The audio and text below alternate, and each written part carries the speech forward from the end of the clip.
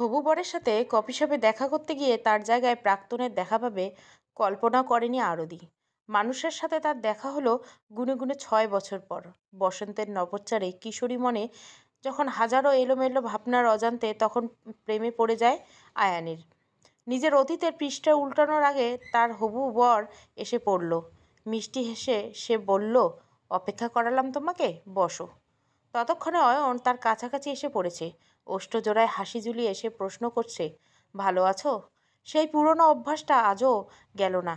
কেমন আছোর বদলে প্রশ্ন করে, ভালো আছো? আরদি শীতল দৃষ্টিতে সাগরের দিকে তাকালো। বেচারা চোখে মুখে প্রশ্ন থই থই করছে। আরদি স্মিত হেসে উত্তর দিল, ভালো আছি, আপনি কেমন আছেন? অয়নের দৃষ্টি নিচু করে মাথা নাড়ালো, যার অর্থ সে ভালো আছে। সাগর এবারে মুখ খুলে বলল, ইনি কে আরু? আরদি অয়নের দিকে তাকে উত্তর দিল, আমার স্কুল লাইফের বন্ধু। না মানে আমার সিনিয়র ছিল, বাট ফ্রেন্ডের মতো। সাগর ভদ্রতা সূচক হাত বাড়িয়ে দিয়ে বলল, হাই, আমি সাগর। অয়ন হাত মিলিয়ে বলল, অয়ন। আরদি বড্ড অস্থি, অস্বস্তি হচ্ছে, একজন হবুবর অন্যজন প্রাক্তন প্রেমিক। এরা কেউ একে অপরের সম্পর্কে জানে না, এমন পরিস্থিতিতে কি করা যায় উচিত তার জানা নেই। আয়ন, যদি সাগরকে তার বন্ধু মনে করে, তাহলে এক্ষুনি আরদিকে বলে বসবে, তুমি আগের চেয়েও সুন্দর হয়ে গেছো। আয়ন তার উদ্দেশ্যে বলল, তুমি? উনি আমার ফিয়ন্সি হবুবর কথা বলতে বলতে তিনজনের তিনটে চেয়ার দখল করে ফেলল। স্বভাবতই অয়ন মুচকি হেসে বলল, ওয়াও, কংগ্রাস। আরদি আমি কিন্তু কিছুই বলতাম না। শেষ কথাটার অর্থ আরদি ভালোই বুঝলো। হুটহাট কিছু শোনার ভয়ে সে আরদির পরিচয় করে দিল। তা আয়ন বুঝতে পারল। মাঝখান থেকে সাগর প্রশ্ন করল, কি বলতেন না? নাথিং সিরিয়াস ভয়ে আরদি হাত পা ঠান্ডা হয়ে এসেছিল। তার চেহারার ভাজে সূক্ষ্মভাবে মেঘের ছায়া স্পষ্ট ভেসে উঠল। অয়ন মনে মনে এক গাদা হাসল, এই সামান্য বিষয়তে মেয়েটা এত ভয় পেল? এত ভীতু কেন মেয়েটা? সেকেন্ডের কাটতে না কাটতে সাগরের সাথে অয়ন মিশে গেল। কফি খেতে খেতে পরিবেশটা জমে উঠল।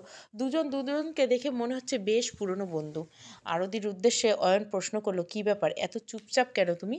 বিয়ে কবে করছ? নড়ে চড়ে বসল আরদি সাগরের দিকে এক পলক তাকিয়ে বলল, সামনের মাসে। অয়ন সাগরের উদ্দেশ্যে বলল, আরু, এত চুপচাপ? উহ, যা প্রশ্ন করে তাই উত্তর দিবে, কথা বলবে, মেপে ভেবে ছেলে দুজন খিলখিল করে হাসলো আর আরদি লুকিয়ে। আরদি অয়নের প্রেমের শুরুটা হয়েছিল বসন্তের শুরুতে। দুই বেনি দু হাত ধরে যখন চঞ্চল অরদি কোচিংয়ে যাচ্ছিল তখন পেছন থেকে মোটা কণ্ঠস্বর বলে ওঠে, এত কোমর নাড়াচ্ছের কি আছে? অঙ্গ প্রত্যঙ্গ কি জন্ম থেকে বাঁকা? বসন্তের ভোর তখন পুরুষ কণ্ঠে এমন কথা শুনে আরদি পিছন ঘুরে তাকাতে আটকে গেল। সেই মুহূর্তে চোখের ছেলেটা বোতল থেকে চোখে মুখে জল দিচ্ছিল। কি নিখুঁত জলবিন্দু ছেলেটাকে ছুঁয়ে যাচ্ছে। আরদি অনেকক্ষণ অবধি চেয়ে রইল। হঠাৎ তার ছেলেটা তার কাছাকাছি এসে বলল, হা করে তাকিয়ে আছো কেন? পছন্দ হয়েছে নাকি আমাকে? কি অসভ্য ছেলে! আরদির অনুভূতিগুলো ভোতা হয়ে গেল। লজ্জায় লাল হয়ে যাচ্ছিল। চেয়ে এসে ঝগড়া করতে পারেনি। চুপচাপ মাথা নিচু করে কোচিংয়ে গিয়েছিল। পরদিন আরদি যথাসম্ভব চেষ্টা করেছিল মাথা নিচু করে জায়গাটা পার করতে। কিন্তু অয়নের বাড়ির কাছাকাছি এসে দুষ্টুবুদ্ধি মাথায় ভর করে সে ইচ্ছে করে কোমর দোলাতে লাগল। সেদিন অবশ্য অয়নের দেখা মেলেনি। তবে পরের দিন কোচিংয়ে গিয়ে জানতে পারল অয়ন তার বান্ধবীর কাজিক হয়। ইনিয়ে বিনিয়ে যখন আরদি তার বান্ধবীর বাসায় যায়, তখন দেখা মিলে রাজকুমারে বেশ জমিয়ে আড্ডার পর নাম্বার আদান প্রদান। দু চার দিনের কথা বলা প্রেমের সম্পর্কটা হয়ে যায়। অয়নের প্রেমে পড়াটা আরতির জন্য যেন বাধ্যতা ছিল, তবে প্রেমটা দীর্ঘস্থায়ী হয়নি। কল্পনা জগতে থাকাকালীন আরতি হেসে ওঠে, আবেগ ভাষা দিনগুলো খুব একটা খারাপ হয় না। সাগর বলল, আরু, আমাকে এখনই যেতে হবে, বাসা থেকে ফোন এলো। ব্যস্ত হয়ে আরতি বলল, ও, ঠিক আছে, চলুন। বিপত্তি ঘটিয়ে অয়ন বলল, সাগর, আমি বলছিলাম তোমার যখন তারা আছে আর একদিকে আমি না হয় বাসায় পৌঁছে দেব। ইফ ইউ ডোন্ট মাইন্ড ভাবারও সময় না নিয়ে সাগর সম্মতি দিল। আরদি মনে মনে সাগরকে বলল, বলো, হবু বউকে কেউ প্রাক্তনের সাথে ছাড়ে? প্রাক্তন তো কালনাক স্বরূপ। এতক্ষণে আরদি অন্যরকম অনুভূতি হলো। মনে হলো পুরনো অনুভূতি তাজা হচ্ছে। ছ বছর অয়নের জন্য কোনো রকম অনুভূতি কাজ করেনি, তবু মানুষটাকে মনে পড়তো। ওই যে প্রেমটা শিখিয়েছে। আমার কি খবর? জিজ্ঞাসা করলে না তো? আরদি কফি শপ থেকে বের হয়ে গেল। পিছন পিছন অয়নও আসছে। কিছুটা উসুর স্বরে বলল, বসন্ত রানী?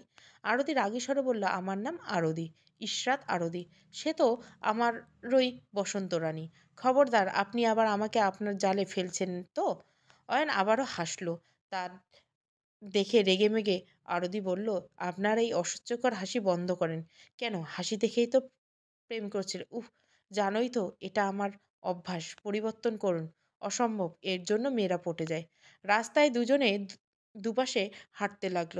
পলক বাদে আয়ন বলল, সাগর ছেলেটা ভালোই, তোমার জন্য পারফেক্ট জানি, বাবা মায় পছন্দ। তোমার পছন্দ না? পছন্দ বয়ফ্রেন্ড নেই। এক বছর আগে ব্রেকআপ হয়েছে। কয়েক বছরের সম্পর্ক নয় মাস ছিল। দেন আমি নিরামিষ বলে ব্রেকআপ আরতি চাপা হাসলো। আয়নের সাথে প্রেমের দুই মাসের মধ্যে মা জেনে যায়।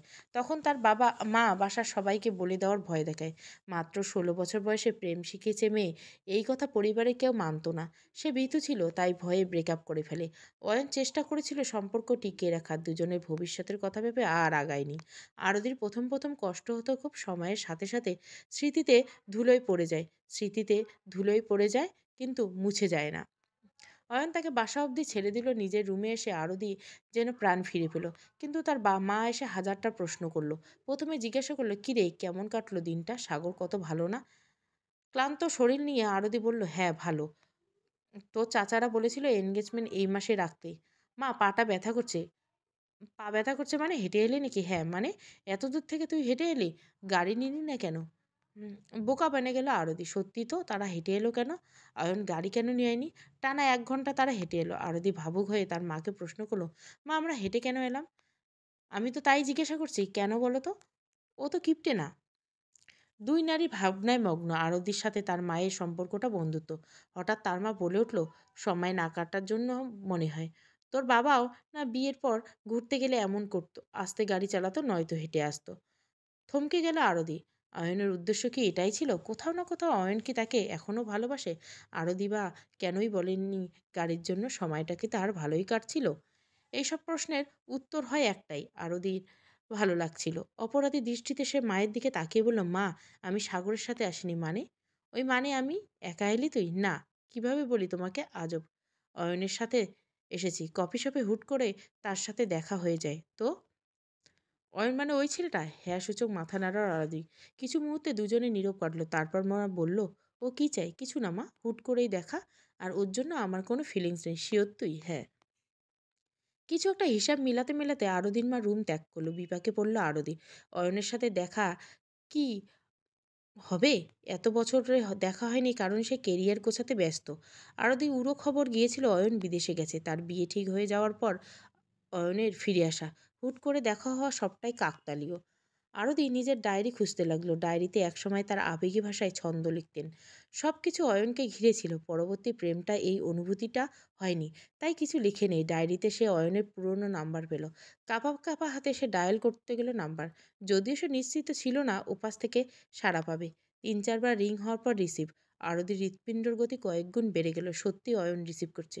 হ্যালো, কে বলছেন? আমি। ওপাশ থেকে কয়েক সেকেন্ড, সাড়া এলো না। তারপর খিলখিলি হেসে বলল, কী ব্যাপার? আমাকে মিস করছ, বসন্ত রানী? উফ, আমাকে কেন মিস করব? কে হন আপনি আমার প্রেমিক? ছিলেন? সে তো আমি সব সময় ছিলাম। কজন আমার মর্ম বুঝলো বলো? মানে? সে কিছু না। এক সময় তোমার নাম্বার থেকে খুব কল আসতো, তখন ক্রন্দন মাখা নারীকণ্ঠের ভয়ে যাস্ত আমি আপনাকে ছাড়া থাকতে পারছি না। পড়াশোনায় মন বসছে না। নিজের অতীতের কর্মকাণ্ডগুলো শুনে আরদি লজ্জা পেতে শুরু করল, কতই না পাগলামি করেছে সে।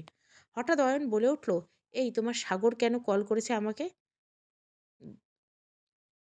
দুই বউ বর একসাথে আমার প্রেমে পড়নি তো, সাগর আপনাকে কেন কল করবে? আর আপনার নাম্বার কোথায় পেল? তোমার সামনেই তো নিল। উপস তুমি তো তখন আমার শহরেই ছিলে।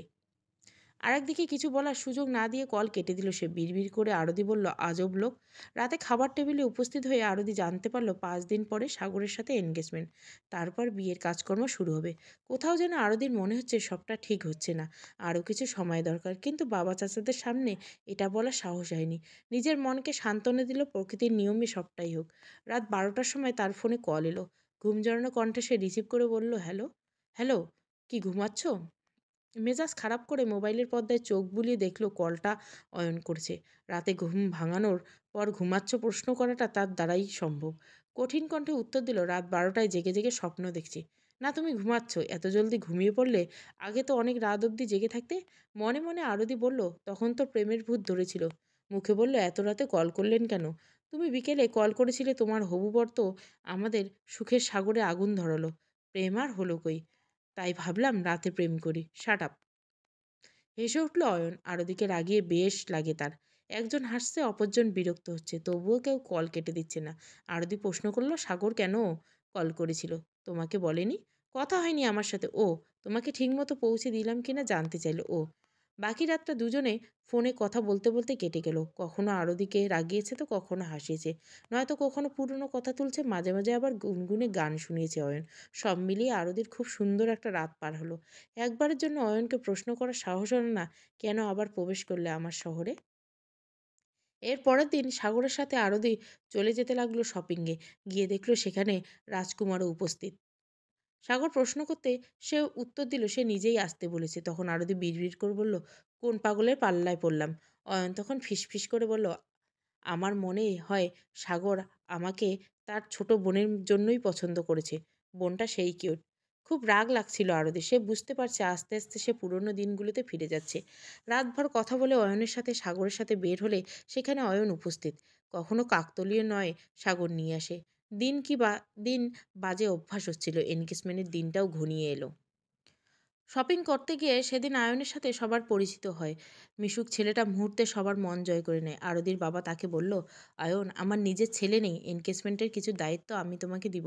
পাত্রপক্ষে সবটা তুমি খেয়াল রাখবে। ব্যাস অয়নকে আর বাধা দেয় কে? এনগেজমেন্টের পরিকল্পনা করার মাঝে অয়নও উপস্থিত ছিল দুই পরিবারের সবাই তাকে সাধারণভাবে গ্রহণ করে। কেউ তো আর জানে না ছেলেটা তাদের মেয়ের প্রাক্তন ছিল। এনগেজমেন্টের দিন অয়ন তাড়াতাড়ি আরদিদের বাড়িতে উপস্থিত। স্বভাবত সে হেসে হেসে কাজকর্ম করছে। আরদি শুধু তাকিয়ে দেখছে, অয়ন কি কি খুব খুব খুশিতে আছে বলে হাসছে, নাকি কষ্ট আড়াল করে হাসছে? ধুর, সেও কি ভাবছে অয়নের কষ্ট কেন হবে? কেন যেন অয়নের সব পুরনো কথা আরদির মাথায় ভর করছে। মন চাইছে আবার সেই সময়টাতে ফিরে যেতে। কিন্তু সে জানে, এই ইচ্ছেটা পাপ। আরদির মুখের সামনে তুড়ি বাজিয়ে অয়ন বলল, কি ভাবছ এভাবে? কিছু না। গতকাল রাতে কি হয়েছে জানো? কি হয়েছে? নদী মানে সাগরের কিউট বোনটি আমাকে কল করেছিল। ও কেন কল করবে? প্রায় দু ঘণ্টা কথা হলো। আরদি সন্ধিহান দৃষ্টিতে অয়নের দিকে তাকিয়ে রইল। গত রাতে তো তিনটে অবধি অয়ন তার সাথে কথা বলেছে। নদী কখন কল করল? প্রশ্নটা অয়ন ধরতে পেরে বলল, তোমার সাথে কথা শেষ হওয়ার পরেই কল দিল। রাত তিনটায় নদী কল করেছে, কি বলব কল করে?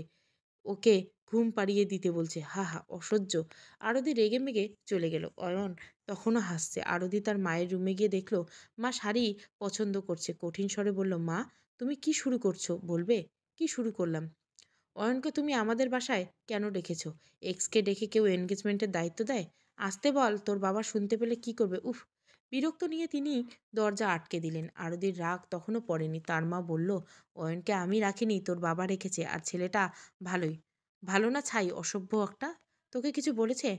নদীর সাথে লাইন করতে চাইছে। ভাবতে পারো তুমি কতটা নির্লজ্জ নির্লজ্জ কেন হবে? নদীর সাথে তো ভালোই মানাবে। ওই চিকনার সাথে অয়নকে কীভাবে মানাবে? তুমি পাগল হয়ে গেছো? আরদির মা বুঝতে পারল, মেয়ের আকার ছোঁয়া, রাগ।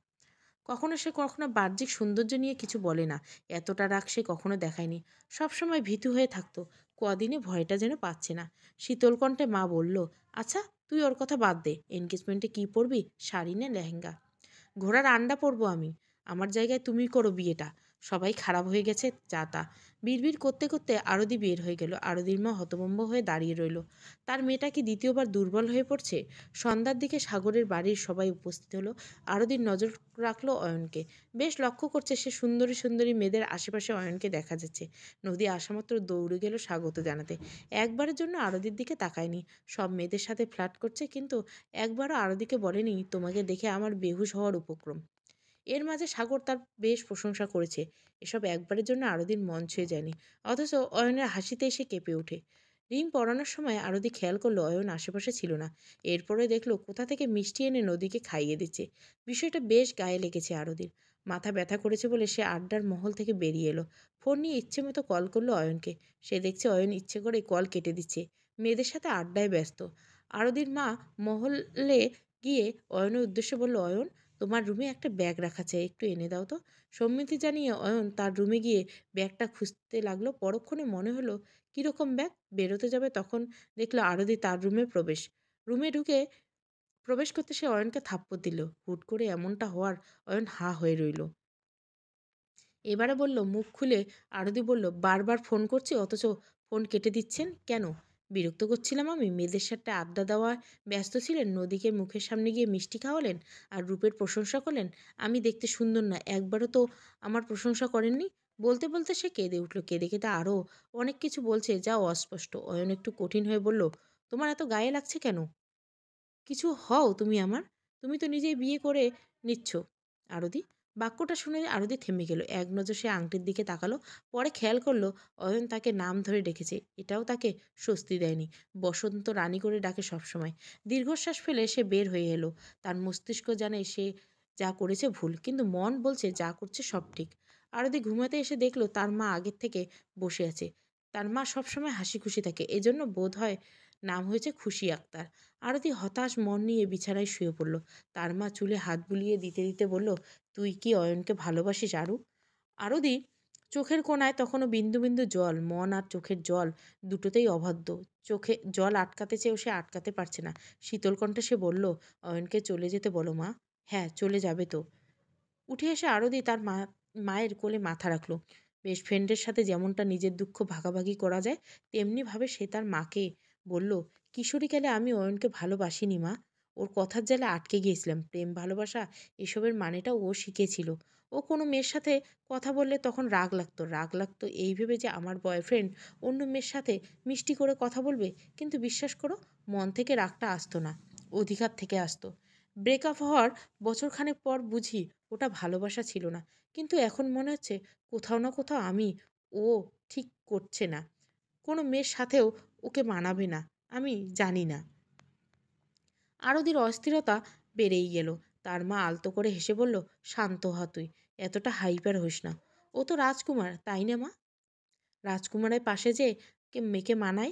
কি না, রাজকুমারের পাশে তো পছন্দের মানুষকে মানায়। বসন্ত রানীকে মানাবে, নদী, সুচি, রুমি, এদের কাউকে মানাবে না। তুমি বলো মা, মানাবে না? হ্যাঁ মানাবে না। তবুও কেন এমন করছে? তুই কি বিয়েটা করতে চাস না আরু? চুপ হয়ে গেল আরদি। এই উত্তর তার জানা নেই। তার মা আবারও প্রশ্ন করল, আরু, তুই চাপা স্বভাবের বলে তোর বন্ধুটা সব সময় আমি হতে চেয়েছি। একজন বন্ধু হয়ে তোকে বলছি, নিজের মনকে শান্ত কর, নিজেকে সময় দে, সঠিক সিদ্ধান্ত নে, মনে একজনকে বসিয়ে সংসারটা অন্যজনের সাথে মানিয়ে নেওয়ার চেষ্টা কর। ও, অয়ন বলেছে ওর সাথে আমার কোনো সম্পর্ক নেই। মাথা ঠান্ডা কর, কাঁদিস না আর। কাঁদছি কই? কাঁদছি না তো? তোর এনগেজমেন্ট হয়েছে সবে, সবটা শেষ হয়নি। কবুল বলার আগ অবধি সময় তোর আছে আশা হারাস না আরু। অশান্ত মনটা কিছুটা শান্ত হলো আরদির। অয়নের সাথে প্রেমের সময় একবার সে প্রশ্ন করেছিল, তাকে বসন্ত রানী কেন ডাকে? উত্তরে অয়ন বলেছিল, সাদা কালো জীবনটাকে বসন্তের নবচ্ছাস ছোঁয়া, রঙিন তুমি রঙিন করে দিয়েছ। আমার রাজ্যে তুমিই রানী। তোমার জায়গায় কেউ নিতে পারবে না। আমার রাজকুমারের জায়গা নিতে পারবে না। কথাটা উপলব্ধি গভীরতা তখন উপলব্ধি করেনি সে। কিন্তু আজও অয়নের জগৎটা, জায়গাটা সত্যি কেউ নিতে পারেনি। হেসে উড়িয়ে দেওয়ার প্রতিটা কথার গভীর অর্থ আজ উপলব্ধি করছে, পাচ্ছে সে। রাত গভীর হলে আরদি নিজের ফোনের দিকে দৃষ্টি তাক করল। প্রতিদিন অয়ন ইচ্ছে করে তাকে কল দিয়ে বিরক্ত করতো, এপার ওপার হাজার কথা বলতো। খুব করে চাইছে আজ নাম্বারটা থেকে কল আসুক, ভুল করে হলেও আসুক। পরক্ষণে আরদিন মাথায় এলো, সে চর মেরেছে। আর অয়নও তাকে কঠিন কথা বলেছে। আগে একবার এমন কঠিন কথা বলেছিল ব্রেকআপের সময়। অয়নের রাগী ভাবটাকে সে বরাবরই ভয় পায়। নিশাচর পাখির মতো সে রুম ত্যাগ করে অয়নের রুমের দিকে রওনা হলো। সে জানে অয়ন আজ তার বাড়িতেই আছে। আরতে গিয়ে অয়ন তখন জেগে ফোন কিছু একটা করছে। রুমে প্রবেশ করে সে নিচু স্বরে বলল, দুঃখিত। তখন রাগ কন্ট্রোল করতে না পেরে চর মেরেছে আই এম সরি কথাটা শুনে পেয়েও ও না তাকিয়ে বলল প্রবলেম নেই, যাও তুমি এখন থেকে। আরতি গায়ে লাগল শেষ কথাটা। সরি বলতে এসেছিল, থাকতে আসেনি। যাও তুমি, বলার কি দরকার? চেয়ারে বসে আরতি বলল, কিছু কথা ছিল, বলো। এমন ভাব করছে যেন আমার দিকে তাকালে চোখ ঝলসে যাবে যাবে না। হাসি হাসি মুখ করে তাকা ছেলেটা, এমন গম্ভীর কথা শুনলে যে কেউ বিরক্ত হবে। আর হচ্ছে, কিন্তু সেটা চেপে রেখে বলছে, আপনি এখন কি করছেন? ফোন টিপছি। তা বলছি, মালয়েশিয়া থেকে আসলেন কখন? দু তিন মাস আগে। কেন? আঙ্কেল আন্টি কোথায়? গ্রামের বাড়ি। রুচির বাসায় থাকছি আমি। রুচি মানে আরদের সেই বান্ধবী যে অয়নের কাজিন হয়। তিন বছর আগে তার বিয়ে হওয়া, হয়ে যাওয়ার বর্তমানে যোগাযোগ নেই। মৃদুস্বরে আরতি বলছে, রুচি কেমন আছে? ভালো। এখানে জব করছেন আপনি? হুম। সত্যি করে একটা কথা বলবেন? সত্য বলতে মানতে পারবে? আমার জন্য অপেক্ষা করেন? আমি হ্যাঁ বললে পরিস্থিতি পাল্টে যাবে? আরতি চুপ করে রইল। চোখের জলগুলি বিনা পাতায় গড়িয়ে পড়ছে। অনেক বড় ভুল করেছে। একদিকে সায়কর, অন্যদিকে অয়ন। অয়ন বলছে, আমি বলেছিলাম আরতি, একদিন না একদিন আমি ফিরে আসব। তুমি কথা দিয়েছিলে অপেক্ষা করবে। ছয়টা বছর যে পরিস্থিতি পাল্টাবে, না কে জানতো? আমি শুনেছিলাম আপনি মালয়েশিয়াতে সেটেল হয়ে যাচ্ছেন। আপনার অনেক গার্লফ্রেন্ড আছে। বাচ্চাদের মতো কাঁদবে না আরদি বাচ্চা বাচ্চা, কথাটাও বলবে না। যে কেউ এসে যা তা বলবে আর তুমি বিশ্বাস করে নিলে? আমার আগেও তো আপনার গার্লফ্রেন্ড ছিল অনেকজন, তাই না? তুমি আমার লাইফে আসার পর আমি কারও সাথে সম্পর্কে জড়াইনি বসন্ত রানী। চোখের জল মুছে নিল আরদি। সবটা দোষ তার। হাতের দিকে তাকিয়ে আরদি রিংটা খুলে ফেলল। তা দেখে অয়ন বাঁকা হেসে বলল, বিয়েটা তুমি নিজের ইচ্ছাই করছ না। অনিচ্ছাই ছিল না। সাগরকে বিয়ে না করার কোনো কারণ ছিল না। এখন আছে। হয়তো তোমার বাবার সামনে গিয়ে বলতে পারবে, বিয়েটা তুমি করতে পারব না, নিশ্চুপ হয়ে গেল আরদি এই সাহসটা তার নেই। কিন্তু সাগরের সাথে সারা জীবন অভিনয় করাটাও সম্ভব না। সময় আছে এখনও কিছু না বলে আরদি রুম থেকে বেরিয়ে গেল। খুব বিশ্রী একটা পরিস্থিতি দাঁড় হয়েছে। হয় মরণ, নয় বাচন দু তিনটা দিন এমনিতে কেটে গেল। খুব বাজে দিন কেটেছে। অয়নের সাথে এর মাঝে একবারও কথা হয়নি। সব রকম যোগাযোগ বন্ধ করে দিয়েছে। আরদের শরীরের অবস্থা ভালো না। সেদিন আরদির সাথে দেখা করতে রুচি এলো। তাকে দেখে পেয়ে আরদি স্বস্তি পেল, এই বুঝি অয়নের কোনো খোঁজ পাবে? রুচিকে দেখে আরদি বলল, একা এলি? বাচ্চা কই তোর? মায়ের কাছে, তুই মোটা হয়ে গেলি কেন হঠাৎ? হঠাৎ? কত বছর পর দেখেছি বলতো? দাঁত খেলিয়ে হাসলো আরদি, সবসময় হুবো আগের দিনের কথা। রুচি তখন তার বাড়িতে আসতো চুপি চুপি, আরদি অয়নের খোঁজ নিত। আজও তাই করল। আস্তে ধীরে সে বলল, তোর ভাই কোথায় রে? ও তো চলে গেছে। ওর কাছ থেকে খবর পেয়ে আমি তোর কাছে এলাম। তোর তো মনেই নেই আমাকে। চলে গেলে কেন? তুই কিছু জানিস না? ভাই যাওয়ার আগে তোকে বলেনি? না তো? ভাইয়ের তো বিয়ে ঠিক করে ফেলছে মামারা সামনের দশ তারিখ বিয়ে। মানে? ভয়ে কাঁপতে শুরু করল আরদি। বিয়ে হয়ে যাওয়ার মানে চিরদিনের জন্য রাজকুমারকে হারিয়ে ফেলা। অন্য কোনো নারী তার রাজকুমারের উপর অধিকার দেখাবে? অন্য কেউ তাকে জড়িয়ে ধরবে? তার দিকে মুগ্ধ হয়ে তাকাবে? কি করে মেনে নিবে আরদি এসব উনি নিজের ইচ্ছায় বিয়ে করছেন, রুচি। উপায় নেই। মেয়েটার সাথে অনেক আগের থেকে বিয়ে ঠিক ছিল। আরদি চুপ হয়ে গেল। রুচি বলল, অয়ন ভাই, তোকে অনেক ভালোবাসে রে। ভাই, বাইরে থাকলেও তোর প্রতিটা খবর সে জানতো। তুই কি করছিস? কার সাথে ঘুরছিস? এই কথাটা আরদি বুঝতে পেরেছে। না হয় বিয়ের কথাবার্তা হওয়া মাত্রই অয়নের ফেরার কথা না। রুচি আবার বলল, তুই কোনোদিন খোঁজ করবি ভেবে তাই নিজের আইডি, ফোন নাম্বার সবটাই একই রেখেছে।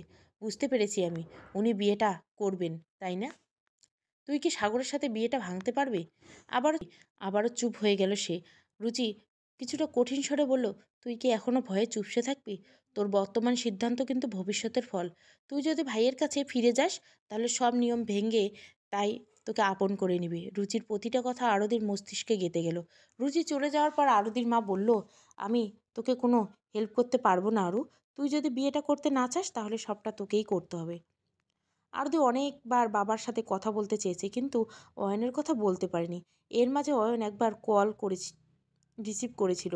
তিন চার মিনিট কথা হয়েছে, তারপর আর কোনো খবর পায়নি। আট তারিখ আরদি সাগরের সাথে দেখা করার জন্য সেই কফি শপে অপেক্ষা করছে। সাগর আসামাত্র সে সব ভয় কাটিয়ে বলল, সাগর, আমি বিয়েটা করতে চাই না। এমন কথা সাগর হতভম্ব হয়ে মৃদুস্বরে বলল মানে? আমার পুরো পরিবারের পছন্দ করে এনগেজমেন্ট হয়ে গেছে, তোমার পরিবার রাজি। আমি অন্য একজনকে ভালোবাসি। ফাজলামি করছ? দুদিন আগেও রাজি ছিলে, আর এখন আরেকজনকে ভালোবাসো? বাবার দিকে তাকিয়ে আমি রাজি ছিলাম। এমনভাবে বাবাকে বলেছিল যে না করতে পারিনি, আর তখন? আমি কিছু জানি না, আমার পরিবার সব কল্পনা করে রেখেছে। তুমি আমাকে বিয়ে করে সুখী হতে পারবে না, সাগর। সেটা আমার বিষয়। তোমার পরিবারকে বলো বিয়ে ভাঙতে। সাগর, তুমি বুঝতে পারছ না, আমাদের তিনজনের কেউ সুখী হতে পারবে না। তোমার বাবা যদি বলে বিয়েটা তবেই ভাঙবে। সাগরের সাথে কথা বলে কোনো ফল হয়নি। এদিকে মাও বলে দিয়েছে, কোনো সাহায্য করবে না।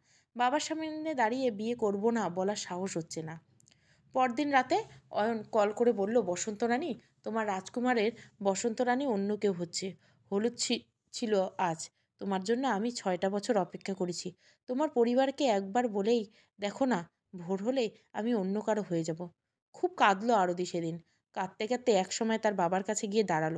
কাপা কাপা স্বরে বলল, বাবা, আমি বিয়েটা করব না। আরদির বাবা বেশ রাগী স্বভাবের। রেগে মেগে তিনি বললেন, কি বললে তুমি? এনগেজমেন্ট হয়ে গেছে তোমার? এ সময় যদি এমন কথা বলো, তাহলে পাত্রপক্ষকে কি জবাব দেব? আরদির কান্নার বেগ কয়েক গুণ বেড়ে গেল। কেঁদে সে বলল, সরি বাবা, কিন্তু অয়নকে ছাড়া আমি অন্য কাউকে বিয়ে করব না। অয়ন মানে ওই ছেলেটা? বাবা, আমি তোমাকে সবসময় বলছি। ততক্ষণে বাড়ির সবাই রুমে উপস্থিত। আরদের কিশোরী কাল থেকে সমস্ত কথা নির্ভয়ে সবার সামনে বলল। সব শোনার পর বড় চাচা বলল, অসম্ভব বিয়ে ভাঙ্গাটা। ওদের সামনে আমরা ছোট হয়ে যাব। এর মাঝে আরদির ভয়ঙ্কর একটা কথা বলে বসল। আমি কিন্তু বিয়ের দিন পালিয়ে যাব বড় চাচা। সবার মাঝে খুশি আক্তার চোখে জল নিয়ে আসেন। তিনি ভাবতে পারেনি মেয়ে এত বড় কাণ্ড করে বসবেন। তিনি স্বামীকে মেয়ের সুখের কথাটা বোঝালেন। সবাই আলোচনার পর বড় চাচা বললেন, অয়নের পরিবারকে আসতে বলো। পাত্রপক্ষ তো আসে। অয়নকে ফোনে ভোরে সাগর কল আসলো। সাগরের মূল কথা ছিল এরকম, কংগ্রাস ভাই, তুই পারলি। আরদির মুখ ফুটে সবার সামনে সবটা বলেছে। তোর ভালোবাসার জোর আছে বলতে হবে। সাগরের সাথে কথা, যখন আরদি বিয়ের কথাবার্তা ফাইনাল, তখনই অয়ন সম্বন্ধ নিয়ে যায়। ফলস্বরূপ, অয়নের পরিবারকে খালি হাতে ফিরে আসতে হয়। আরদির বাবাকে সব কিছু বললে তিনি বলেন আরদি তোমাকে বিয়ে করতে চাইলে তবে বিয়েটা হবে। বিয়ের কাজকর্ম শুরুর আগে আরদিকে সেটা বলতে হবে। আমার মান সম্মান ডুবে যাওয়ার সময় নয়। সাগরের সাথে কথা বলার পর সে রাজি হয় এই শর্তে আরতি নিজ থেকে অয়নকে বিয়ে করবে বলে সাগর সরে আসবে। সবটা অয়নের পরিকল্পনা পর্যায়েই হয়েছে। আরতির বাবাকে বলে এনগেজমেন্ট শেখ ছিল। অয়নের বিয়ে নিয়ে রুচি বলা কথাগুলো মিথ্যে ছিল। সবটা জানার পর আরতি রাগ করতে গিয়েও করতে পারেনি। তার ভালোবাসাটা ফিরে পাওয়ার জন্য কতই না পাগলামি করেছে। বিয়ে রাতে অয়ন বলল, বসন্ত রানী, আপনার রাজকুমারটা তাহলে আমি হলাম। আমার পুরো পৃথিবীতে চিৎকার করে জানাতে ইচ্ছে করছে আমি সুখী। প্রেম শহর কি জানো? প্রেম করার সময় একবার বলেছিলে, প্রেম শহরে তারাই যায়, যারা প্রেমে পড়ে। প্রেমের মর্ম বুঝে শহরটা তাদের জন্য তৈরি। চলো তাহলে পালাই। কোথায়? প্রেম শহরে। সমাপ্ত। গল্পটা ভালো লাগলে অবশ্যই লাইক শেয়ার এবং সাবস্ক্রাইব করবেন। Thank you for watching